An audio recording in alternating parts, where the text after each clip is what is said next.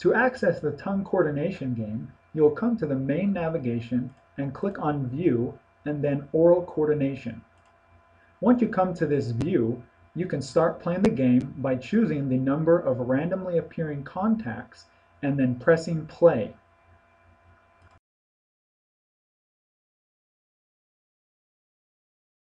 Okay, do you want to do a little tongue coordination game? Okay. Okay, let's do that just for fun. We've got 10 dots, and you're going to try to touch it with your tongue tip. Because Okay. you can cheat and do your whole tongue, but that doesn't work, okay? Your tongue tip. If something gets stuck, I'll let you know then.